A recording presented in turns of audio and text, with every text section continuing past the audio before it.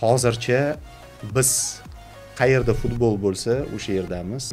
Bizga raqobat ko'proq kerak. Nima yetishmayapti? Hozir katta homiylar kerak. Katta pul ajratilsagina bizning sohamiz rivojlanadi. Terma jamoani o'zini o'yin uslubini siz qanday ko- ko'ryapsiz? Bizdan hamma raqib qo'rqyapti. Bitta narsa endi penalti tepishni o'rgansak bo'ldi. Uchinchi bosqichni o'zida hal qilamizmi? U bosqichda bir g'alati qarorlar bo'lganda o'zi ofk tomonidan. Sizda sezildimi baribir shu yuk bo'lgani yig'inlar boshlanganda qayta boshlanganda? G'alati gollar qo'yib yubordik. Sog'lig'i yaxshimi o'zi katanisi biz to'g'ridan to'g'ri katanis bilan haligi muloqotda emasmiz. Mm. bitta futbolchiga e, sal negativ shakllanib qolibdi sayfiyev ikkita xatosi bor. O'ziga ham ba'zida gapirishim mumkin. Muxlislik nuqtai nazaridan baribir shuni aytmoqchiman. Qanaqadir e, noto'g'ri eshitilar. Bizning avlod futbolniy klub dasturidan zo'r ko'rsatuv ko'rmagan televideniyada. Men ham bir katta sharhlovchi ketganini bildim. His qildim uzreport adashmasam unga ham taklif bilan chiqqan. O'tgan kim playstation o'ynagan bo'lsangiz вот вам пожалуйста именно o'sha ovoz. Man uchun bu ta'rif lekin. Barselona paris sen jermen kilian mbappe bitta odamni javobini kutyapman debdi. Shu qiziq bo'ldi menga lekin. Kimni javobi ekan u? Manchester city real madrid. Qog'ozdagi favorit bor va real madrid bor. Real madrid bor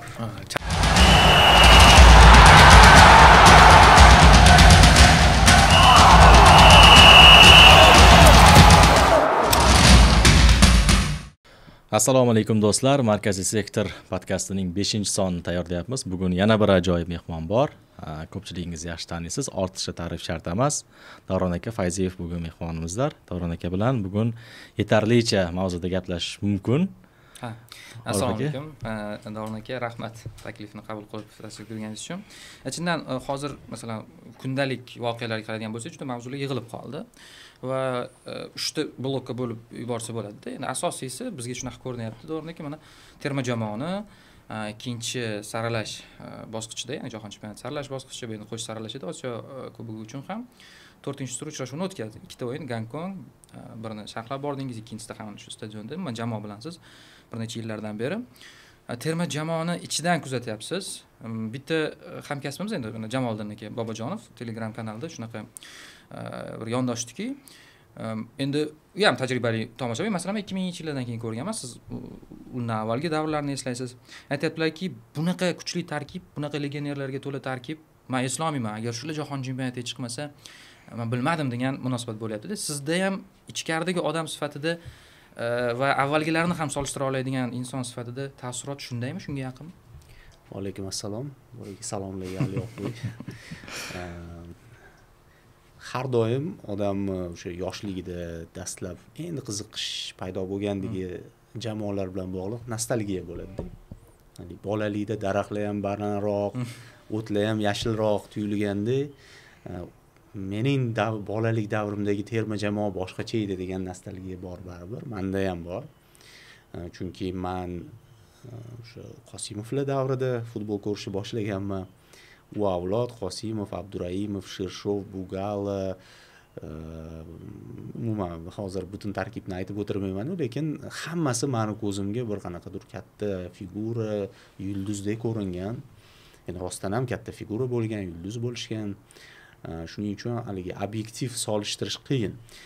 Eh, ammo ba'zi faktorlar bo'yicha haqiqatdan ham hozirgi tarkib oldingilaridan farq qiladi. Hmm. Plyuslari ham bor o'ziga yarasha va oldingi avlodda ham plyuslari bor o'ziga yarasha. Agar to'qson to'rtinchi yilni oladigan bo'lsak eng katta plyus. Hozirgi avlodda plyusi rostdan ham o'sha aytib o'tilgandek legionerlar ko'pligi va legionerlar sifatli ekanligi va ular o'ynaydigan klublarning darajasi ular o'ynaydigan chempionatlarning darajasi yuqoriligi va o'sha o'ynayotgan kuchli chempionatlarda ular raqobatli futbol ko'rsatayotgani endi to'g'ri ozgina shomurodovda pasayish bo'ldi o'tgan mavsumda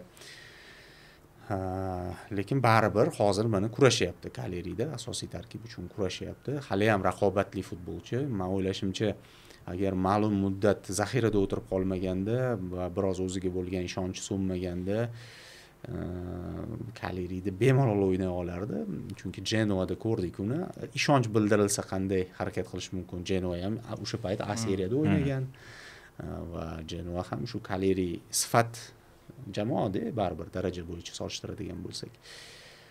Abduqodir husanov fransiya chempionatida u ham asosiy tarkib futbolchisi bo'lish uchun yaqin yaqin turibdi. Endi ba'zida zaxirada qoldiryaptiyu ammo oxirgi payt doimiy o'yin amaliyotiga ega. Agar top ligalarni oladigan bo'lsak va hozirda misol uchun turkiya chempionati ham yomon darajada emas. Juda jangovar darajada. Hozir. Muxlislar ham unasa ham. O'zi o'tgan safar agentlar bilan podkastimizda abduqodir husanov agenti ham o'sha bir fikri esimda qolgandi. Ya'ni murabbiy uni ataylab ham asrayapti ya'ni u hali misol uchun podkatlari uni yelkalari kuchli bo'lgani bilan lekin jismonan hali yigirma yosh bola uni bemalol o'ynatish mumkin lekin qanaqadir asrayapti u keyingi uch yillik to'rt yillikni ko'ryapti degan ma'noda gapirgandida o'zi haligi pozitsiya bo'yicha oladigan bo'lsak ham agar pastdan darvozadan hujumga o'tadigan bo'lsak jamoa yosharib boradi. Yoki aksi tepadan pastga oladigan bo'lsak yoshi kattalashib boradi. Ya'ni darvozabonlar eng yoshi kattalar bo'ladi odatda kechroq yetiladi deymizu markaziy himoyada stabil doimiy o'ynash uchun ham o'ziga yarasha tajriba kerak. Chunki u yerda xato qilish e, jiddiyroq oqibatlarga olib keladida. Misol uchun hujumda to'pni oldirib qo'ysa yana orqada futbolchilar bor olib qo'yishi mumkin. Bu yerda boshqacha funksiyalar talab qilinadi. Markaziy himoyada xatoying bo'ldi san e, o'yinni anti qahramoniga aylanishing mumkin. Shuning uchun e, markaziy himoyachi doimiy stabil asosiy tarkibda o'ynashi uchun tajriba ham kerak. Endi hamma ham kubarsi emas. Qaysidir ma'noda majbur ham bo'ldi. Xavi kubarsiga ishonch bildirishga jarohatlar sabab bo'ldi. Lekin qarasa u e, yoshiga nisbatan anchagina intellekti baland o'yinchi. Hammasini o'qiy oladi vaziyatlarni o'qiy oladi. E, bir umr shu pozitsiyada o'ynagandek barsada o'zini ishonchli his qilyapti. Abduqodirda ham shu narsa bor yoshiga nisbatan fikrlashi kengroq va o'tkirroq aynan futbol nuqtai nazaridan hayot endi hayotda kam gaproq yigit. Hmm. juda uyalchang kamtar va kam gap. Hozir mana endi sal sal e, kirishishni boshladi media oldida ham bemalolroq bo'lishni boshladi. Intervyu juda uyaladi. Misol uchun manga murojaat qilishadi. Mashg'ulotlar payt jurnalistlar e, abduqodirdan intervyu olsak bo'ladimi deganda borib so'rasam yo'q iltimos man hmm. bermay deydi. Sal tortinchoqligi bor ammo yevropa uni o'ylaymanki bu tomonlama ham tarbiyalab qo'yadi yaqin vaqt ichida. Chunki e, bizning futbolchilarda baribir shu e, mediadan kameralardan fikr bildirishdan tortinish kompleksi deymizmi odati hali ham saqlanib turibdida hmm. hamma ham jaloliddinga o'xshab yo hmm. otabekka o'xshab yo eldorga o'xshab haligi bu atmosferaga ko'nikkan emas ko'pchiligi negadir qochadi fikr bildirish siz qanaqa maslahat berasiz ularga? Man maslahat beramanki hozir mana hozirgi kunda futbolni mediadan ajratib bo'lmaydi. Hozirgi kunda futbolchi nafaqat maydonda o'ynashni bilishi kerak balki chiroyli qilib fikrlarini izohlashni ham bilishi kerak biz ko'ramizku misol uchun haligi apl haqidagi ko'rsatuvlar bo'ladi mana orif ko'pincha sharhlagan bunaqa dasturlarni. Mayli apl apl olamida o'zbekchalab apl olami dasturi bor yoki chempionlar ligasi kundaligi dasturi bor u yerda. Gollar tayyorgarlik jarayonlari bilan parallel intervyular ketadi. Va futbolchilar o'tirib juda yam teran fikr bildiradi hammasi har doim intervyuga tayyor. Endi to'g'ri ba'zida mag'lubiyatlar bo'lib mix zonada ozgina jahli hmm. chiqib o'tib ketishi mumkin lekin boshqa payt haligi qayerda intervyu berish qoidaga kiritilgan bo'lsa o'zini olib qochmaydi. Bizani yigitlar haligi yulduzlik kasalidan emas yo qanaqadir o'zini yuqori tutishdan emas umuman sabab boshqa. Ular hmm. qaytanga man anaqa gapirib ko'rinmay bir qanaqadir bir o'zimni media shaxs sifatida ko'rsatib qo'yib undan ko'ra o'ynay futbolni o'ynay degan tushuncha borda baribir. Bu sezilib turadi. Mana e, shu mavzu o'zi ochilganda qiziq mavzu. Eng yorqini hozir so'nggi endi mana davron aka sanab o'tdilar. O'sha eldor jaloliddinku bu ma'noda eng oldingi planda turadigan. Lekin e, bulardan tashqari yana ko'radigan bo'lsak eng yorqini hozir va yoshi abbos. Abbos intervyulari bor. Yetarlicha beryapti qochmayapti zo'r fikr bildiryapti va eshitib turibman hozir abduqodirni aytdingizu o'sha fikr menda abbos bo'yicha ham borda. Ya'ni o'zini yoshiga nisbatan nafaqat o'yini balki fikrlashi ham so'z tuzishi nutq nutq ravonligi bo'yicha ham juda ham ajablantiryapti va xursand qilyapti. Chunki endi unga ham ergashishadi abbosni juda yaxshi ko'rishadiyu. Yoshlar ayniqsa mana hozir o'yinlarda ham ko'ryapmizu. Demak keyingi chiqayotgan futbolchilar ham demak gapirishni ham bir o'rganishim bilishim kerak ekan bu ham kerak ekan. Chunki abbosni maydondagi harakatlardan tashqari shunaqa o'zini tutishi ham imijiga hissa qo'shyapti manimcha. Do'rn aka ha e, qolaversa uchta tilda u bemalol gapiradi. E, shu eng katta plyuslaridan biri deyishimiz mumkin. Va mani bilishimcha bilishimcha o'zidan eshitmadimu bilishimcha u yana bitta til o'rganyapti. Qaysi til? qaysiligini ha shunaqa bo'lib qoladi. Balki balki ispan tilidir balki germaniya tilidir bavariya haqida. Endi taxmin qilish ancha mumkinda o'zi uchun o'zi uchun. o'zi hech kim majburlayotgani yo'q. O'zi uchun shu shu tilni ham o'rganib qo'yadi chunki baribir e, poliglot deymizu odamda shunaqa til o'rganishga e, moyillik bo'ladi. Shunaqa moyilligi bo'la turib bundan foydalanmaslik bu xato bo'ladida. Unda moyillik bor ingliz tilini o'rgandi rus tilini o'rgandi nima uchun yana keyingi tilni o'rganmasligi kerak? Va mana shu e, media olamida o'zini erkin his qilish bo'yicha yana bitta parallel solishtirish mumkin. Mana hozir e, o'zbek sportida eng bu borada liderlar kim bilasizlarmi?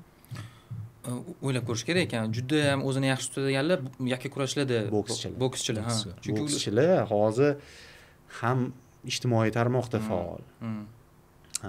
ham intervyular o'zini tutishi qiynalishyapti lekin amallab ingliz tilida o'sha matbuot hmm, anjumanlarida gapirishyaptida. intervyulardan qochishmaydi.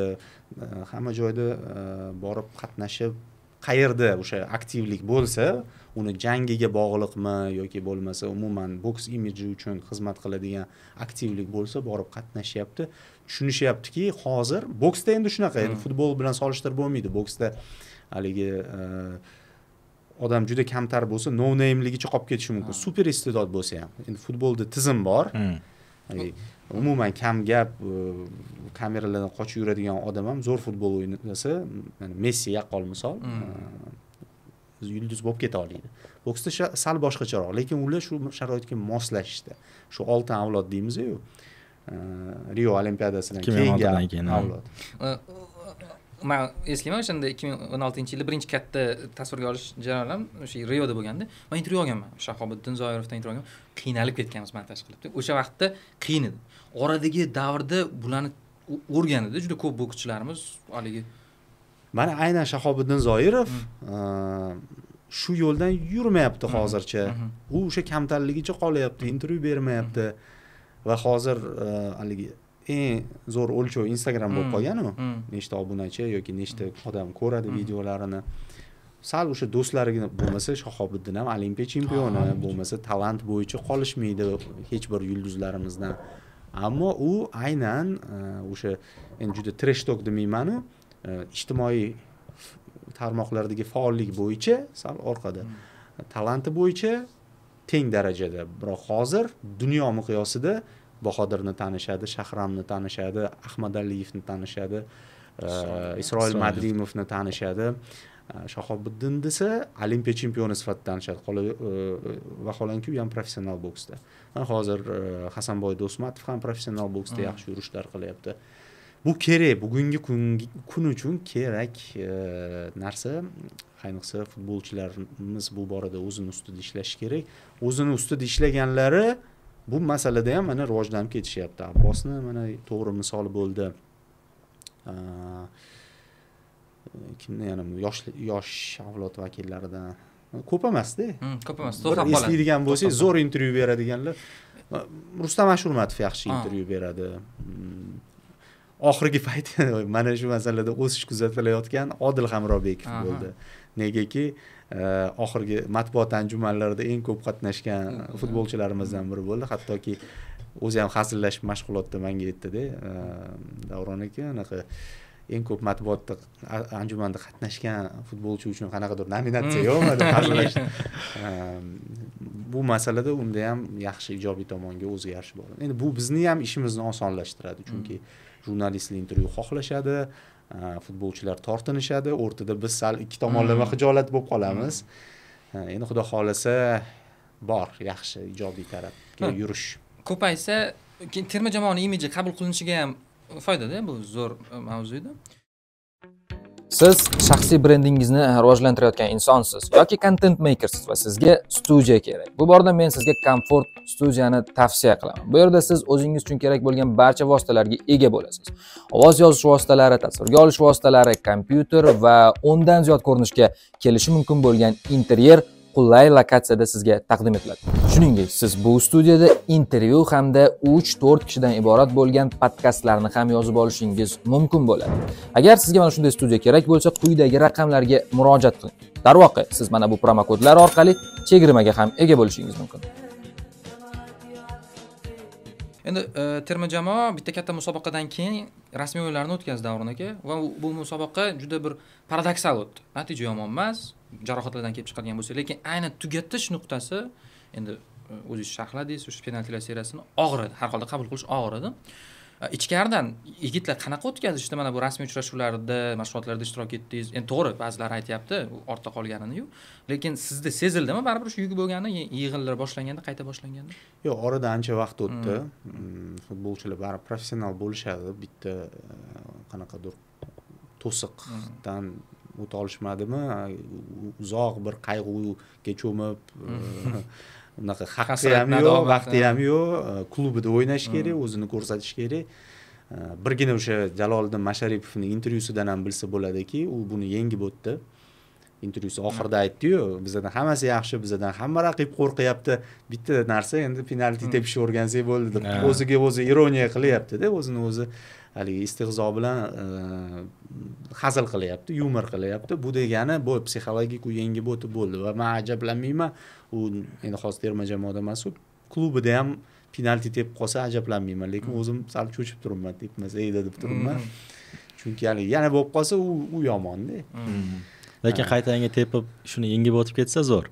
Ramosga o'xshab u tepolmagan osmonga qarab tepganmidi keyin panenka tepganmidi shunga o'xshab yo'q hammasini yengib o'tishgan yigitlar tushunib turishibdi. Maqsad hattoki e, osiyo kubogidan ko'ra bolalarda jahon chempionatiga yondashuv boshqacharoq kuchliroq hmm. hammasida xayolida shu narsa tarixda qolish haqiqatdan ham shu eng zo'r avlod ekanligini amalda ko'rsatish chunki bahslar bor endi eng zo'r misol babayan ham eng zo'r avlod manda degan va o'shanda ham misol yulduzlar o'sha kapadze jeparov ahmedov lar davri deylik genrix bu ham dahshat tarkib bo'lgan nestorov darvozadan tortib himoyachilar zo'r avlod bo'lgan.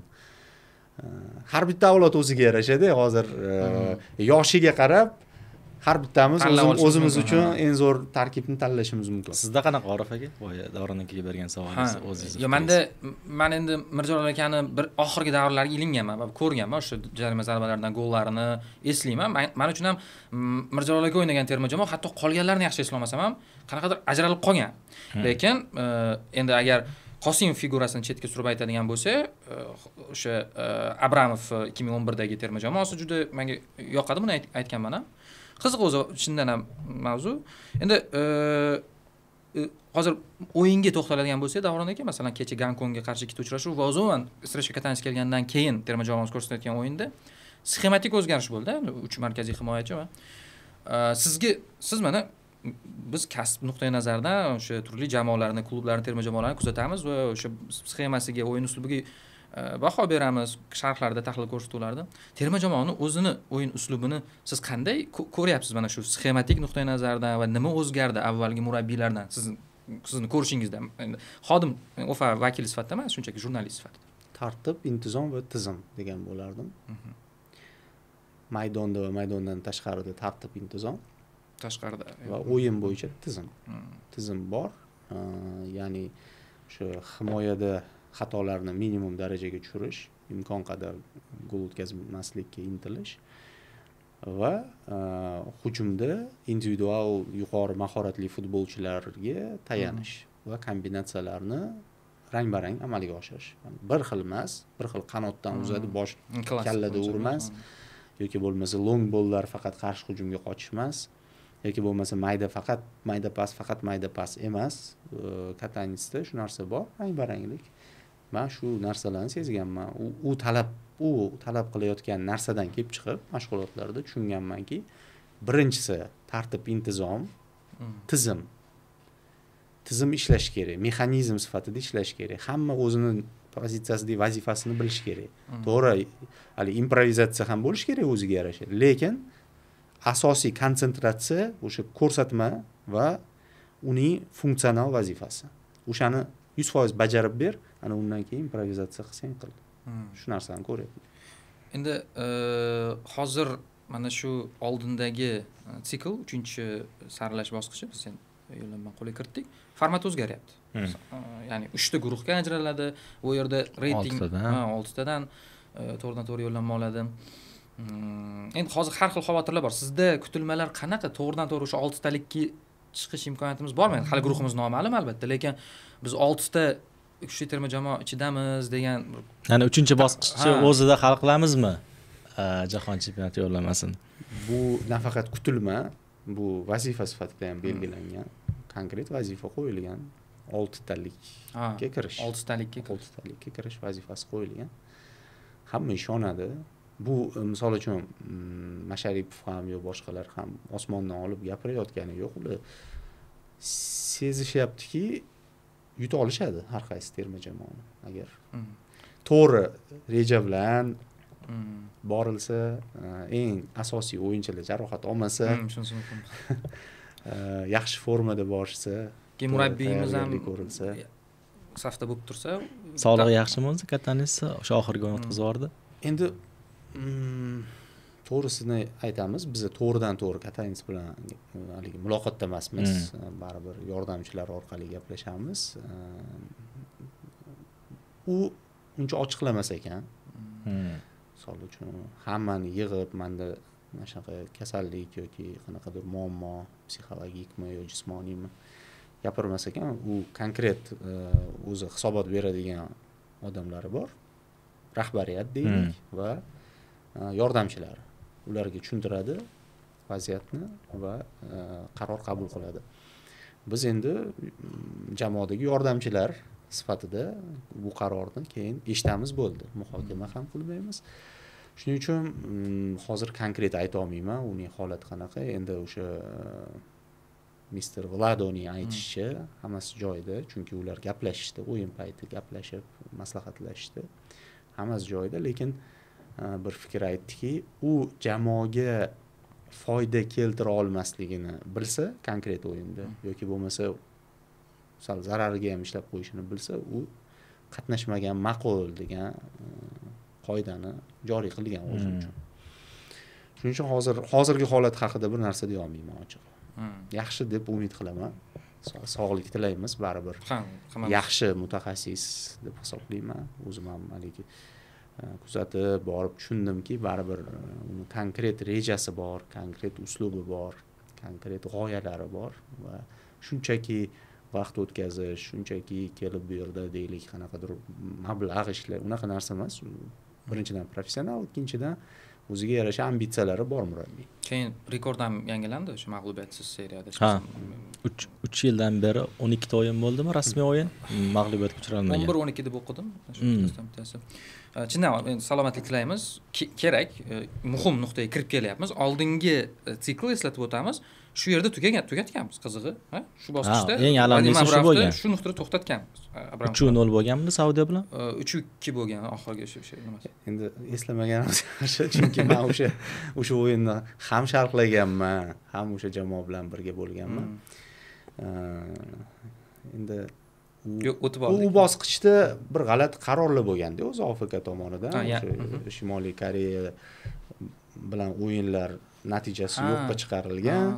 Biz yig'gan olti ochkomizdan mahrum bo'lganmiz va qanaqadir e, bir obyektiv sabab bilan bo'lmadida o'zbekiston chiqolmagan endi to'g'ri birinchi navbatda saudiyaga yutqazganimiz bo'lgan sabab agar deylik o'zaro o'yinni o'zaro o'yindan kelib chiqadigan bo'lsak. Ammo o'sha alam qilgani ko'proq hattoki ikkinchi o'yin ham emas birinchi o'yin yomon alam qilgan. Hmm. birinchi o'yinda biz zo'rroq o'ynagan edik biz e, g'alati gollar qo'yib yubordik. Yutishimiz kerak. A javob uchrashuvida endi saudiyada pandemiya e, bir e, hamma narsa hamma faktorlar saudiya foydasiga ishlagan edi. Va saudiya ham zo'r o'ynab yuborgan tan olish kerak. Hmm. endi mayli u o'tib ketdi. Hozir u davr yomonmidi jamoa deyish ham noto'g'ri. O'sha payt ham deyarli shu tarkib edi o'zi yomon bo'lmaganligi uchun ko'p savol berilganda ha ha. Bitta savol aniq. O'shanda e, balki yanglishayotgan bo'lishim mumkin tashkiliy jihatdan saudiyada qandaydir e, ya'ni e, o'yinni ular tashkillashtirganku baribir. O'sha tashkil tashkillash tomon sifatida. Qandaydir sun'iy to'siqlarni yuzaga keltirishgan degan bir narsani o'qigandim mehmonxonada qiyin transportirovka Mashg'ulot bilan maydonida. bo'lgan sal bo'lgan shunaqa narsalar baribir o'tib ketgan narsa bemalol aytib bersa bo'ladi. sal bo'lgan shunaqa bir ba'zi noqulayliklar o'sha mehmonxonadan u mehmonxonadan bu mehmonxonaga ko'chish holatlari keyin eh, o'zi shundoq ham issiq edi havo va plyus havo aylanmaydigan stadionda o'ynaganmiz. Deyarli barcha uchrashuvlarni faqatgina saudiya bilan o'yinda birdaniga boshqa stadionga ko'chganmiz. Shunga o'xshagan mayda eh, to'siqlar bo'lgan. Deyarli har doim raqiblar eh, nimadir to'siq qo'yishga harakat qilishadi. Haligi juda anaqadan chiqib ketmagan holda qonun qoidadan chiqib ketmagan holda na grani fola deyishadiku ruslar Hmm. shunaqa o'yin qiladi hamma jamoa bir biriga nisbatan endi bizning jamoa menimcha unaqa ishlarga qo'l urmaydi. Qanaqadir bizda vijdon Mm. ustun keladimi bizni bilmayman asosiy nimamizga zidda bu mehmondo'stlik nimamiz o'zimiz o'zimiz yutamiz o'zimizni kuchimiz bilan bo'lgan o'zimizni kuchimizga bo'lgan ishonch har doim yuqori bo'lgan terma jamoa jahon chempionatiga chiqishini hammamiz istaymiz va hozir mana davron akam aytdi oltitadan oltitalikka kirish. Bu degani o'sha uchinchi bosqichda hal qilish e, vazifasi qo'yilgan va yigitlar ham ishonyapti man jaloliddinni e, bir xil vaqt men ham o'ylayman shu o'zidagi shax e, nima deydi xususiyati shunaqa bo'lsa kerak deb o'ylayman. Ishonch masalasi bor lekin boshqa futbolchilar ham ancha shunaqa dadil tutishyapti o'zligini omad tilaymiz davron aka e, olimpiya terma jamoasini ham kuzatib boryapsizu birinchi olimpiadaga chiqamizmikin jahon chempionatiga chiqamizmikin? Yo'q. Ketma ketlik bo'yicha olimpiadaga chiqamiz birinchi yo'q kutyapsizmi? Degani boshqacharoq berdimda endi mana bu oldinda turnir bizni uchun mana bu, e, o'sha olimpiya terma jamoamiz shu turnir uchun yillar davomida tayyorlandida tizim yaratildi tizim yaratildi klub ochildi e, futbolchilar avlodi tarbiyalandi zo'r tarkib yetishib chiqdi. Hozir yevropada o'ynayapti bu bolalar. Mm. Va shu shu holatda e, manimcha imkoniyatlarimiz yuqori. Man ishonyapman mana kecha endi bu podkast kecha chiqqanda kecha bo'lmaydiyu. Mhm. o'tgan kuni bo'ladi o'tgan kuni bo'ladimi? Undan oldingi kuni bo'ladimi? Xullas kim qachon ko'rishiga bog'liq. E, qatarni yutdik. Qatarda mm, manimcha bu jamoa uddalaydi mani fikrimcha kuchi yetadi uddalashga. Endi man to'g'risi hozir e, o'sha baribir ufa vakili sifatida hech qaysi bir jamoamizga nisbatan yo'q bu jamoa sal yo'q yo'q masalan men ufa vakili emasman. Lekin e, men ham e, nima deydi istayman siz aytayotgan fikrni aytaman. Ya'ni endi siz baribir terma jamoalarni yaqindan bilganingiz uchun ya'ni detallar ma'lum sizga. Masalan kapadzeni e, bitta holat yuzaga keldi. Masalan kecha abbos bilan abduqodir kapadze terma terma jamoasida ham o'ynashi mumkin edi kecha biz uni ko'rsatuvda ham muhokama qildik. Ya'ni qayerda borgani yaxshiroq edi. Kapadzega ko'proq kerak bo'lgandir abbos balki chunki oldinda uni muhim musobaqa kutib turibdi. Husanov ham muhim musobaqa hali endi keladimi? O'zi husanov hali a? yo'q mana e, kechagi bari rasmiy o'yinda. Mm, to'g'ri gonkong raqib deyishimiz mumkinu. Baribir rasmiy muddatidan oldin haligi erondagi safardagi o'yinga ishonib qolmasdan shu yerda bunyodkorda hal qilishimiz Kerak edi shuning uchun yosh futbolchilarimizni ko'pi milliy terma jamoaga bordi. O'rtoqlik o'yiniga bormasa ham bo'ladigan vaziyat va buni temur kapadze ham manimcha to'g'ri qabul qilgan endi mana bu e, olimpiya turnirida muammo shundaki mana terma jamoa yig'ini yo'q aprelda fifa kunlari emas fifa kunlari emas. E, klublar klublar bilan endi hal qilish kerak sizda qandaydir ma'lumotlar yo'qmi hozir shu masalalar bo'yicha ya'ni kim Yo'q, kelishi mandagi ma'lumotni aytib o'tishim mumkinki uchalasi ham harakat qilishadi klubida masalan, fayzullayev husanov husanov va hoji Matir. erkinov ha. uchalasi ham endi abduvohid o'zimiz nasafda nasafda o'ynaydi shuning uchun muammo bo'lmasligi kerak. Umaralilar kelarmikin? Umarali umarali hozir yig'inda yig'inda ishtirok etdi. Ya'ni rubin o'shanda qo'yib fifa kunlari o'sha tugaganda o'sha o'sha masala endi man ko'proq o'sha terma jamoa bilan bo'lganim uchun e, ma'lumotim ko'proq o'sha terma jamoadagi yigitlar haqida. Hammasi e, o'zi o'zida xohish bor birinchi navbatda. E, ikkinchidan ruxsat so'rash e, protsedurasi boshlangan. Hmm. ya'ni ruxsat so'rashmoqchi. Endi yo'q desa boshqa yo'q variant baribir klub klub ixtiyorida bo'ladi u payt. O'sha yo'q demaydigan qilib so'rashga harakat Ha. qilishadi.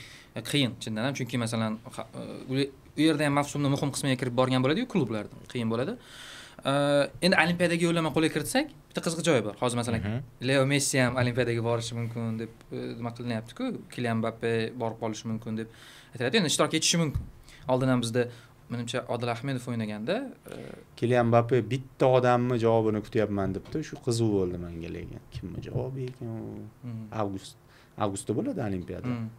avgustda kimdan javob? Ya'ni u bilyaptiki avgustda kimdan javob olish kerakligini taxminingiz bormi hozir to'g'rimi taxminim peres. Peresdanmi yo anchelotidan yo'q manimcha o'sha e, shartnoma nima yevrodan oldin hal bo'ladi dediyu bu o'zi o'zini se- serialni o'sha fasli tugashini aytib o'tdi. E, yevrodan oldin deb balkim shartnomasiga kiritar o'sha bandni. Endi hozir man o'zimdan so'ramoqchi edim. Ya'ni kapatze olib chiqsa terma jamoani o'zi zo'r terma jamoaku yoqimliku. Ham o'sha yigirma yoshlilar ham mana abduqodirlar ham yigirmada ham o'ynadiku ham o'zi avlodi yaxshi anaqa bor Jal- uh, Jasur Jaloliddin. jasur jaloliddinov o'tgan safar ham familiyasi qiynalgandim jaloliddin bilan jaloliddin adashtiradi shu shunaqa uh, zo'r ta- tarkibga milliy jamoadan ham kimdir qo'shilishi yana shunchaki tashqaridan qaraganda xodim sifatida emas vakil sifatida emas ya'ni. Yo olimpiadaga xudo xohlasa yo'llanmani qo'lga kiritsak manimcha Kim- bu masala ko'tarilsa kerak. Mhm. Chunki e, haligi ishtaha ham ochilib ketadida baribir. Endi chiqishga chiqdik. Hmm, borib yutqizib endi. bermaymiz normal natija qayd etaylik degan xohish paydo bo'lsa kerak. E, va manimcha boradi kimdir bo'lsa ham. Bizani yaxshi liderlardan eldormi jalolmi kim bo'lsa ham. Markaziy ham balki. Qiziq bo'ladi. Ostonmi? Chunki oston ham ho- hozir haligi osiyo kubogidan keyin ko'pchilikda sal taassuroti boshqacha bo'lishi mumkin lekin oston hali terma jamoamizga ko'p foyda keltiradi. Keyin kecha o'yinda shu narsaga e'tibor qaratdingizmi? Bitta futbolchiga e, sal negativ shakllanib qolibdi sayfiyevga. Hmm. sayfiyevga stadionda ko'rdik sharhladim ham qanaqadir e- e- muxlislar e'tiroz bildirishi sezildida menga qanaqadir tashqaridan qaraganda. Mm, man qo'shilmayman misol bu e'tirozlarga sayfiyev ko'pincha aytaman necha avlod murabbiylarini ko'rdi. Ha, terma jamoa. hammasi asosiy tarkibda o'ynadi. Ha, hammasi. Bo'lmasa bor edi raqobatchilari hozir ham bor. Yoshroq haligi mm, unga nisbatan kuchliroq klublarda o'ynaydigan Hmm, raqobatchilar bor lekin sayfiyev uchradi murabbiylar. Chunki u to'g'ri o'ynaydi. Hmm. u balki zo'r texnikaga ega emasdir lekin to'g'ri o'ynaydi. Hujumda ham to'g'ri o'ynaydi. Kerak payt uzatmani amalga oshiradi. Kerak payt yuqoridan uzatadi. Kerak payt orqaga pas beradi. Kerak payt hujumchiga devor o'ynab ketish sharoitini qilib beradi. Hmm. boshqa payt himoyalanadi. Himoyaga qaytish bo'yicha eng zo'rlardan. Shu tomoniga qaraydi murabbiy. Uni qanaqadir to'rtta fint qilishi yoki haligi e, marseloga o'xshab chap oyog'ida aldab turib o'ng oyog'ida tepib yuboradigan yo o'ng oyog'ida aldab turib chap oyog'ida pas berib yuboradigan xususiyati yo'qdiru lekin jamoa uchun foydaliligini sezadi murabbiylar his qiladi. Kuper ham abramov ham katanets ham e, ko'rgan va uni asosiy tarkibda tushirgan. Bo'lmasa unga kim u? Katanetsga Ha. farruh sayfiyev misol uchun. Shunaqa. Qanaqadir tanishi bo'lmasa yaxshiroq ko'ringani uchun ham asosiyda o'ynayapti mutaxassislar murabbiylar tanlovi? O'zi negativ muxlislarda nima? E, misol uchun baribir muxlislar o'yindagi effektli vaziyatlarni Hmm, ko'proq muhokama qilishadi. Qaysidir joyda to'pni to'xtata olmagan bo'lishi mumkin qaysidir joyda pas beraman deb tepa tepa yuborishi mumkin.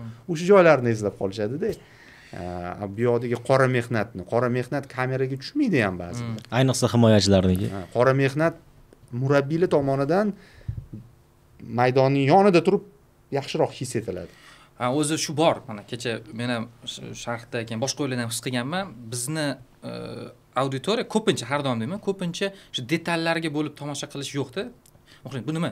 Ya'ni bitta kurash kechadiyu maydon markazida hujum emas himoya ham emas maydon markazida yelkama yelka kurash bo'lib to'pni olib qo'ysa futbolchini mana realda boshqa umuman e, xalqaro o'yinlarda klublar ishtirokidagi o'yinlarda ko'rsak stadion baqirib yuboradi. Xuddi gol bo'lganda ya'ni olqishlab qo'yadi qo'llab quvvatlaydi. Shu narsa bizda qanaqadir yo'q yo'q sekin shakllanyapti man xohlagan bo'lardim. Kecha abbos ham shunaqa vaziyatlarni chiroyli harakat qilyapti to'pni olib qo'yapti ayniqsa azizbek turg'unboyev zo'r o'ynadi himoyada u shunaqa ko'p to'plarni olib qo'ydida shunaqa joyda yevropa muxlisi qarshiga chalib haligi keyin rejissyorlar ham kadrlarni ushlab ko'rsatadida shu narsalar bizda sal kam muxlislik nuqtai nazaridan baribir shuni aytmoqchiman. Qanaqadir e, noto'g'ri eshitilar lekin bu ham kerak. Husanov ishlayapti mana misol uchun husanovga lekin reaksiya zo'r bo'lyapti ha o'sha har bitta haligi himoyachiga borib keskinroq o'ynagani xuddi gol hmm. urgandek nishonlashyapti odamlar. Ya'ni o'zini qanaqadir imzosiga aylantirib oldida hmm. mana o'sha uch nol.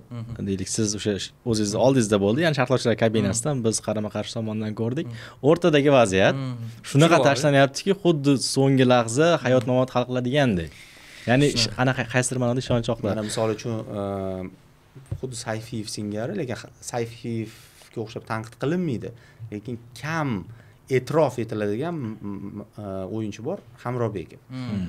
misol uchun hattoki otabek shukurov ham ba'zida oldinga borib gollar urib turadiyu hmm. assistlar qilib lekin hamrobekov agar hozir tahlilchilarni statistikasini ko'taradigan bo'lsanglar aniq paslar soni foizi sifati hmm. haligi himoyadan hujumga olib o'tib ketish to'pni qaytib olish ya'ni nazoratni golgacha bo'lgan nechtadir ham pasni birinchi bo'lib hattoki assistlar bo'yicha ham. Kecha? Hamrobekovni statistikasini bitta o'rganib chiqsanglar eng zo'rlardan bittasida hmm.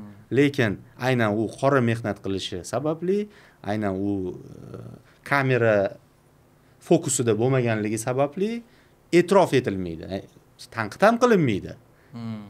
xuddi maydonda uning anaqasi yo'qdek lekin eng foydalilardan bittasi mana hamrobekov yo'qligi murabbiylarga juda yaqqol seziladi misol uchun. Hmm. o'zi sayfiyevga ko'p tanqid qilinishi. Eng ko'p e, e, misol uchun harakat qiladigan futbolchida ya'ni harakat qancha ko'p bo'lsa xato ham shunga bo'ladi. Misol uchun krishtianu ronaldoni statistikasi chiqdi saudiyada. Eng ko'p xavfli vaziyat va eng ko'p gol urgan va xato. Xato shunaqa. Sayfiyevda ham shunaqa sayfiyev ikkita xatosi bor o'ziga ham ba'zida gapirishim mumkin. Ikkita xatosi birinchisi gol urmaydi hmm.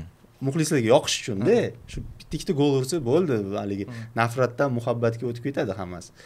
Va yana bitta xatosi sal qiziqqonligi bor. Hozir tag'in ham ancha o'zini ustida ishladi bosiqlik qilyapti.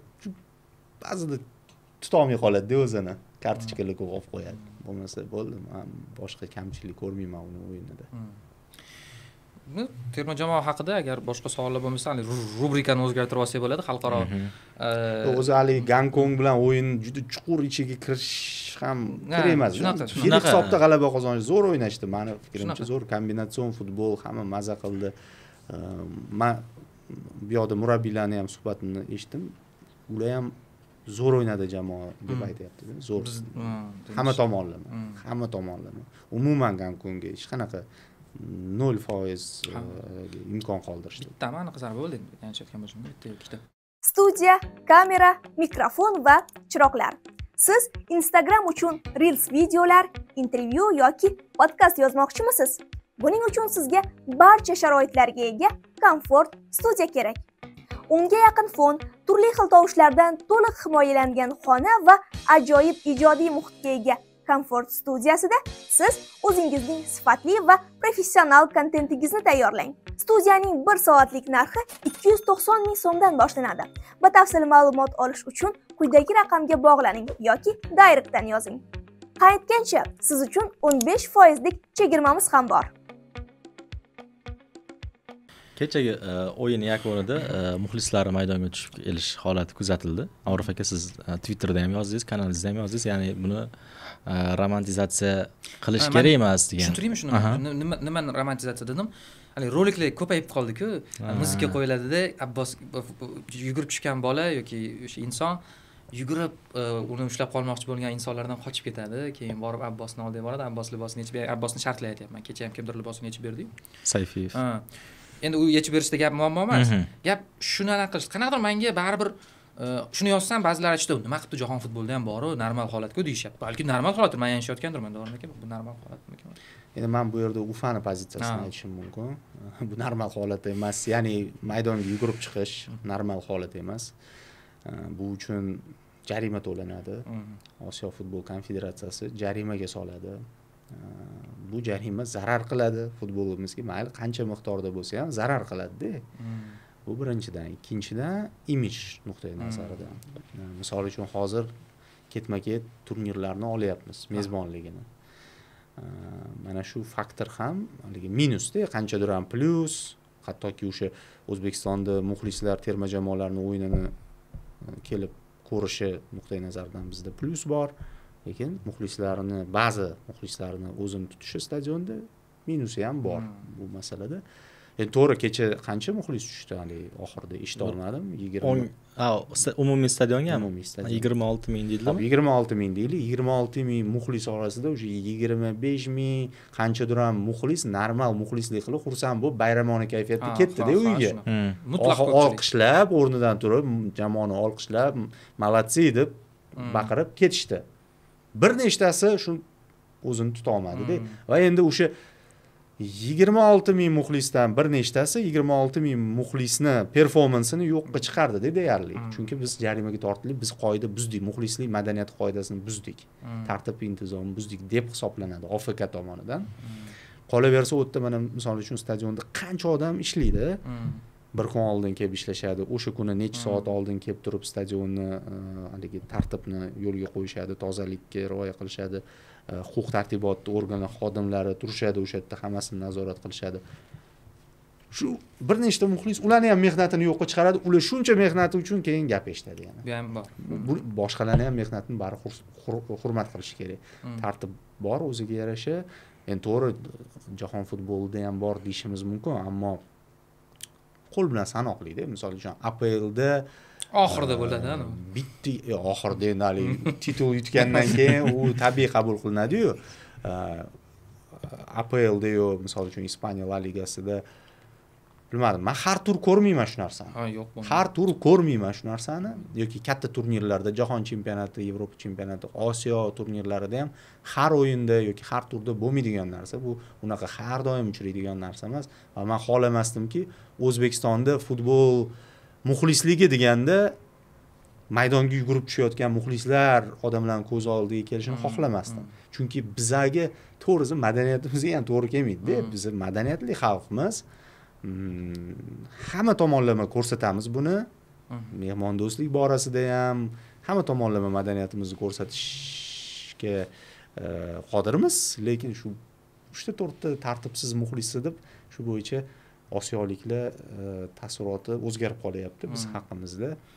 E, va qolaversa o'sha odamlarni o'ziga ham arzirmikin ko'chada kutib tur o'zini zonalari bor futbolchilar bilan uchrashadi o'sha yugurib chiqding nimaga erishding? Hozir mana e, qanaqadir baribir jazoga tortiladi. Mhm. ma'muriy jazoga tortiladi. Moddiy jazoga tortilsa kerak. Endi bu ko'rib chiqiladi. Mayli nimaga erishadi? O'ziga ham ziyon. Futbolimizga ham ziyon ham imijimizga ham ziyon. o'zi eng katta ziyon mana shu yigirma olti mingga yaqin muxlis kelgan bo'lsa besh o'ntani deb ho'p mayli. O'sha o'n ming o'n besh ming dollar jarimani nari borsa o'sha ellik ming dollar ufa to'laydi endi katta pul endi kimlar uchun bizga qiziqmas deyishi mumkin yoki shu narsa borib borib borib agar takrorlanaversa mana bu muxlislarsiz o'tishga to'g'ri keladida o'zi ichki chempionatimizda muxlis u qadar yuqori emas mana shu terma jamoa saralashida mana shu bunyodkor to'ladi qolgan hamma bilet izlaydi lekin shularni deb bilmadim. Endi ularni ayblash qanchalik to'g'ri? Hamma joyda bo'ladi. Bu yugurib tushmoqchi bo'lganlar yoki e, yaxshi kecha ham e, o'sha yugurib tushganlardan ko'pchilik yosh bola edi ya'ni balkim bu narsani yaxshi tushunmas hali Ha, bu, tomonida biz misol uchun davron aka o'sha ufada ishlab turib bu tomonni tushunadi siz biz jurnalistlik tomondan qaraymiz. Xavfsizlik masalasiga savol bo'lishi mumkin. Yoki o'yinga tayyorgarlik shu tomondan qarayvergan yaxshiroq deb o'ylayman bu vaziyatga.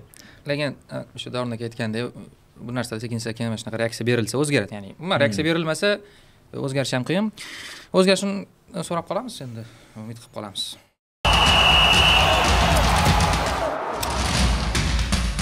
Hop, e, endi davron aka o'sha bloklarni aytgandim. Uch uch blokda ikkinchi blokda siz bilan yevropa chempionlar ligasi haqida gaplashmoqchi edik.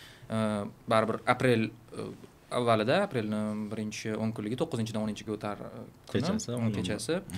Demak yevropa chempionlar ligasida e, chorak final uchrashuvlari bo'lib o'tdi. Qur'a tashlandi qur'ani o'zingiz sharhlab bordingiz va juftliklar zo'r yig'ildi nazarimda. Endi bundan ham zo'roq bo'lishi mumkin edi. Lekin oxirgi bundan zo'ri necha yil oldin zo'r juftliklar bo'ldiyu yo'nalishlar bir biridan farq Mm. ha. ana setka. O'ng chap tomoni sal kuchayib ketdi. Ha, haligi yaqqol da'vogar deyiladiganlar bitta tomon bo'lib qoldi deyilmoqda. Aslida bu yoqda ham nom jihatdan qaraydigan bo'lsak chempionlar ligasini grantlari ha barselona masalan. Chunki barselona sal inqirozda deb qaralayotgani uchun shunaqa deyilyapti man tasavvur qilmayapman masalan messi o'ynab yurgan barselona bir tomonda bo'lib real bu tomondayu hozir klassiko bo'lishi mumkin bo'lishi Finalda. mumkin ha, final bo'ldi- mumkinda shunaqa deyishyapti muxlislar. Nimadan deyapmanda ya'ni ehtimoliy klassiko finalda kutyapti. Messi davrida bo'lmagan ronaldo davrida bo'lmaganda negadir bir tomon kuchsiz bo'lib qoldi deyishyaptida. Aynan barselona tomon nazarda tutib shu barselonadagi oxirgi muammolar bilan bog'liq bo'lgani uchunda endi. Umuman keling endi konkretno juftliklar orqali o'tamiz. Bavariya arsenal. Agar mumkin bo'lsa bu qanaqa tarixan olib qaraganda bavariya arsenal uchun noqulay raqib. Mhm. Lekin hozir agar natijani solishtiradigan bo'lsak arsenalning aplda ko'rsatayotgan o'yini sityga aplda haligi raqobatchi ekanligi a, yaxshi avlod shakllangani jamoaviy futbol ko'rsatayotgani artetaning iste'dodi va artetaga bo'lgan ishonch bu ham muhim tuxilga chunki hamma ham ishonmayapti mюнхenda futbolchilar ham ishonmayapti Ha, ba'zilari. bu eng muhimi futbolchilar ishonmasa murabbiyga bo'ldi. U murabbiy uzoqqa bormaydi. Chunki shuning uchun e, man o'ylaymanki hozir imkoniyatlar bir biriga judayam yaqin. Man hayron bo'lmayman agar arsenal bavariyadan o'tsa. Ikki uch yil oldin hayron bo'lardim balki. Hozir bu yil man hayron bo'lmayman. Man hattoki shu yil qo'yish ehtimoli kattaroqmi degan fikrim ham yo'q emas. Hmm. arsenal arsenal ha? arsenal chunki yo'l o'yin endi ikkita hozir ikkita nimada arsenalda? Apl muhimroqmi unga yoki chempionlar ligasimi ha hozir shu ham rol o'ynab rol o'ynab qolmasmi qolishi mumkin. Mm, bu ham bor bu ham bor. Aplga urg'u qaratayotgani ham bor gap. Va resursi yetmaydi demoqchisizlar ikkalasiga. Ha ikkalasiga. ya'ni ikkitasiga ham birdan osilib e, cho'kib qolish ehtimoli ikkalasidan quruq qolish ha. Bu degani e, mayli bunisidan voz kechaylik Mm. demasa kerak baribir. E, bavariyada bunaqa muammo yo'q. Ba- bayer qo'yib yuborgan oldinga ancha farq bilan. O'zi barsada ham deyarli shunaqa holat menimcha o'zi har doim ham e, bosimdan qutulgan jamoa zo'r o'ynamaydi. Hmm. qaytangi tonusda bo'lgan jamoa zo'r bunaqasi bitta emasmi? Haligi real emasmi? Siz u ko'p yo'q man buni ko'pincha e'tirof etaman. Real bosim ostida zo'r o'ynaydi. Eng zo'r o'yinini bosim ostida ko'rsatadi haligi ketma ket kuchli raqiblar tushib qoladi. Ana qoqiladi ikkita uchta jarohat bo'ladi degan payt real o'zini eng zo'r o'yinini ko'rsatib Hmm. yuboradi bor gap lekin bu bu tasodif yo realga xos faqat realga xos bo'lgan narsa emas. Jamoa tonusda zo'r o'ynaydi. Ha. har qaysi jamoa zo'r formada hisoblanadi. Eng zo'r formada aynan bosim paytida tonus paytida qo'shimcha resurslar kuchlar e, ochilib ketib qoladi. Mm, va arsenal bu masalada qaytanga man favorit deb o'ylayman. Ha arsenal. Ha arsenalning o'ziga bo'lgan ishonchi har hafta raqobatli o'yin o'tkazishi har bitta o'yini raqobatli ekanligi bu plusiga ishlaydi. Bavariyaga minusiga ishlaydi. Mana shu germaniya chempionatida raqobat pasaygani tuxilga bo'lgan ishonch pasaygani tag'in ham hozir bavariya zo'r formaga tushib oldi. Hmm, e, qaytdi. Man hamma narsa keyinga bog'liq deb o'ylayman keyin zo'r o'yin ko'rsatsa bavariya favorit. Bugun qaytibdi mashg'ulotlarga. Hmm, shu- ham muhim ediyu ya'ni birinchi o'yingacha yetib kelarmikan deb. Chunki jarohat olganda hali ustunga borib oyog'ini urgandan keyin. Formani tiklab olsa unda bavariya kichik foiz bilan favorit. Lekin boshqa holatda arsenal umuman man uchun syurpriz bo'lmaydi arsenal yutib qo'ysa man nimaga unaqa dedim? Chunki e, arsenal muxlislari umuman o'zi angliya jamoalari shunaqaku qanaqa chempionlar ligasidan ko'ra ichki chempionatni yutug'ini boshqacha qadrlashadi. Ha, hozirgi arsenalga ayniqsa. Ya'ni juda yam bir raqobatli paytda. Endi ha dorin aka aytgandek shunaqa qarash yuzida bo'lishi mumkin lekin hali ikkalasidan bittasini tanlaymiz degan narsa bo'lmaydi. Manimcha qiyin A, barselona paris sen jermen juftligi bu tomoni tomonga o'tsak. Ho'p bu yerda arsenal rolida Ba- barselona. Arsenal rolida barselona deb o'ylayman. Ya'ni o'tishi ehtimoli ko'proq deb qarayapsiz. Mana birinchi qur'a tashlanganda yoki ma'lum bir vaqt oldin barselona inqirozda deyilayotgandiyu. Hmm. barselona inqirozda bu mavsum yaxshi emas mana xavi deylik xavi ketishini e'lon qilgunga qadar barselona umuman haligi Ha. e, chempionlar ligasi favoritlar qatorida beshtaligi ham to'rttaligi ham umuman hech kim eslamayotganda ham. Lekin hozir shu xavi ketaman deyishi bilan barsa fantastik o'yin ko'rsatib yuboryaptida hattoki ha- jarohatlar ham rol o'ynamay qoldi. E, shuning uchun man o'ylaymanki hozir mana barsa yaxshi formada murabbiyga ishonch ortdi. Ya'ni murabbiyga qanaqa qaysi ma'noda? Undan oldin ham ishonch bo'lgan lekin bu bilmayman shok terapiya bo'ldimi jamoasiga? Ketaman dedi va futbolchilar sal o'zini qo'lga olib oldi endi ketarmikan endi? Shunaqa qiziq holat bo'ldi. Laporta nima debdi? Ha u shunday gapirgan lekin biz uni qolishiga maksimal istaymiz harakat qilamiz deganda o'tgan o'tgan safar o'zi Da- davron aka ahmedov bilan suhbat bo'lganda aytgan- hazil tariqasida aytgandim o'zi savol bergandim agar mabodo chempionlar ligasi yoki la ligada qanaqadir intriga bo'lib xavi agar qoladigan bo'lsa ham ajablanmayman qanaqa sizda davron aka? Endi davron ahmedov yaxshiroq bilsa kerak chunki u barselona muxlisi o'zi qaysidir klubning muxlisi bo'lsa chuqur o'rganadi baribir har bitta klub ichida bo'layotgan jarayonlarni ichidan sinchkovlik bilan o'rganib chiqadi. Lekin bilishimcha hozir davron unaqa o'zi ko'rmayapman balki hozir u o'zini osiyo va o'zbek futboliga bag'ishlagan shunaqa Ha, xullas mani fikrimcha baribir ketadi xavi e, natija qanaqa bo'lishidan qat'iy nazar qanaqa bo'lishidan qat'iy nazar chunki ikki uch marta so'rashdi undan jurnalistlar yo'q ketaman deb aytdi endi hozir yo'q qolaman deb qolsa yana komandangizga holiga qaytib qolish mumkin qolish varianti yo'q qaytish varianti bor endi shuni aytdingizu shunday ö, haligi barselona haqida ta'riflab lekin psjni tilga olmading man darhol so'ramoqchi edim mbappe faktorichi demoqchi edim. Psjga hali o't- o'tishga ha ulgurmadi. O'tib ulgurmadik O- oldin barsadan boshladim.